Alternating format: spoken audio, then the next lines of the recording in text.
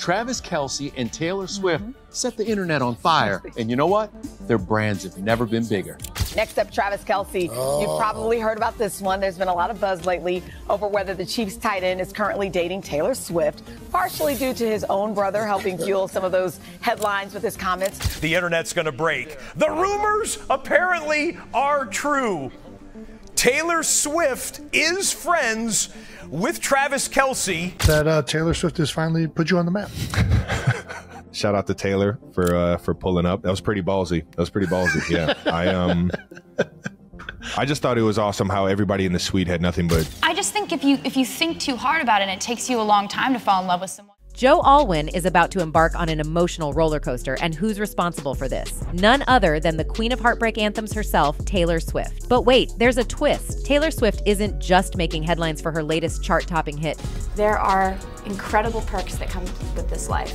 There are also really heavy pressures that come with this life. She's also making waves in the world of sports. She's just gone public with none other than NFL superstar Travis Kelce. Now, it's safe to say that emotions are running high in Hollywood. Joe Alwyn's reaction to this sudden turn of events, well, let's just say it's something you don't want to miss. Grab your popcorn because this story is about to get spicy. So, without further ado, let's begin. In May 2016, Taylor Swift and Joe Alwyn met for the first time at the fancy Met Gala event. People started talking about their meeting because one of Taylor's songs, Dress, hinted that they might have met that night, pointing to their hairstyles. No, I haven't. I've, I've seen versions way before, but I haven't seen the final cut, so I. Later on, someone who knows them well confirmed that they had been dating for a few months. They said it wasn't a big secret to their close friends and families, but they had kept it hidden from the media. Taylor had learned from her past experiences that it's better to keep her private life, well, private. Jump to January 5th, 2020, a special day for them. They first appeared as a couple at the Golden Globes Awards. Taylor was nominated for a song she co wrote for the movie Cat, and Joe was right there with her. They sat together and spent the whole night together, which caught the attention of people watching. So, from the fancy Met Gala to the famous Golden Globes, Taylor Swift and Joe Alwyn have had an interesting love story.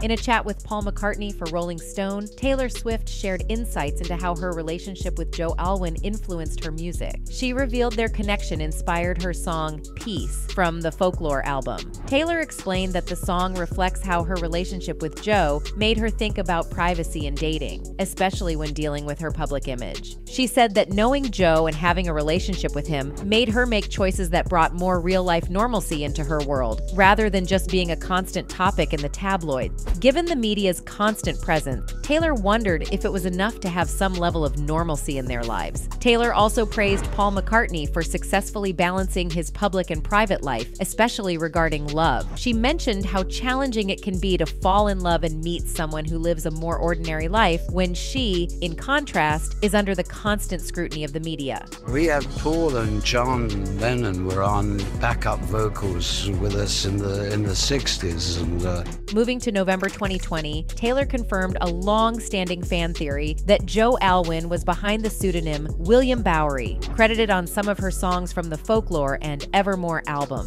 She mentioned that Joe co wrote Betty and Exile. Taylor revealed this during a conversation with the producers of Folklore on Disney Plus. Fast forward to December 2020 when engagement rumors started circulating after Taylor released a snippet of her re recorded version of Love Story. Some fans thought the lyrics had changed to hint at an engagement. However, sources later clarified that the lyrics remained the same. In a conversation with Entertainment Weekly, Taylor referred to Joe as her boyfriend. Their relationship has been a mix of private moments and occasional public appearances, leaving fans captivated by their love story. In April 2023, Taylor Swift and Joe Alwyn broke up after being together for six years. This surprised many people because there were rumors they might get married. The news about the breakup came while Taylor was on her concert tour in the USA. She looked sad while singing a song called Champagne Problems. People found out about the breakup from a source who said it wasn't a big fight or anything like that. They just realized that their relationship had naturally come to an end. Joe hadn't been seen at Taylor's recent shows, which was a sign things were changing. The breakup seems to be because Taylor didn't want to get married and settle down. Even though they had talked about it, she decided that wasn't what she wanted for her future. Ultimately, they decided to go their separate ways, but it wasn't because of a big fight or anything like that. They just felt it was the right time to move on. Well, Taylor Swift made a surprise appearance at a Kansas City Chiefs football game, fueling rumors about her dating NFL tight end Travis Kelce. The dating rumors between Kelce and Swift began in July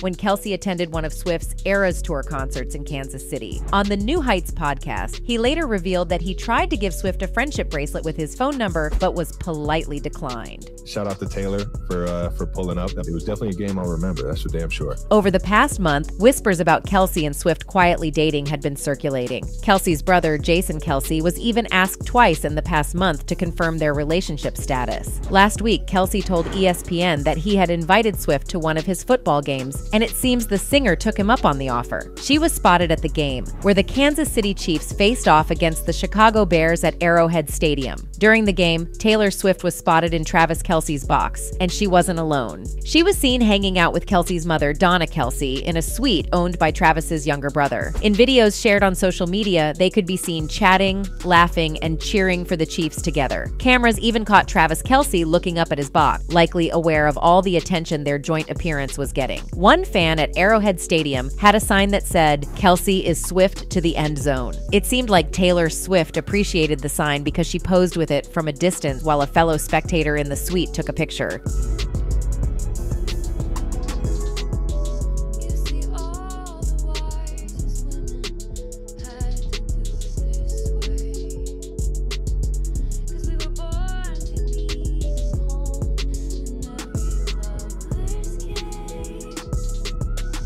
You might not know Travis Kelce if you're not into winning two Super Bowls with the Chiefs, including the most recent one in February. Some Swift fans know much about football too, but mixing the two fan worlds and seeing their reactions is fun. Now, let's quickly discuss why Kelce is such a football star. He plays for the Chiefs, and he's known for making cool touchdown plays, like the one Taylor Swift saw when the Chiefs beat the Chicago Bears. He plays a position called tight end. His job is to help protect the Chiefs quarterback, Patrick Mahomes, who's the guy that throws or hands off the ball. Kelce is a big guy, so he's good at blocking the other team's players who try to tackle Mahomes. But what makes Kelce really famous is that he's fantastic at catching the ball and running it to score a touchdown. He's broken many records for tight ends, like having the most seasons with over 1,000 receiving yards, the most seasons in a row with over 1,000 receiving yards, and having the most yards in a single season. So he's not just one of the best ever, he's also the first picture you'll see when you look up tight end on Wikipedia. In the world of famous couples, things can get pretty dramatic, just like in the movies. But like all stories, this one has an ending. Taylor Swift made her relationship official with NFL player Travis Kelce, which was a big surprise. The world of fame, love, and privacy complicated things for Joe and Taylor. Taylor wanted to keep her personal life private despite being a famous singer. As we wrap up this story, we've seen how Joe reacted to everything, from being surprised to thinking about it all. It's a reminder that celebrities are just like us, dealing with the ups and downs of love and life. This story shows how hard it can be to keep your private life away from the public eye. And that brings us to the end of our discussion on Joe Alwyn's reaction to Taylor Swift making her relationship official with Travis Kelce. We're eager to hear your thoughts about this surprising turn of events. Please share your thoughts and comments below. Your comments mean a lot to us.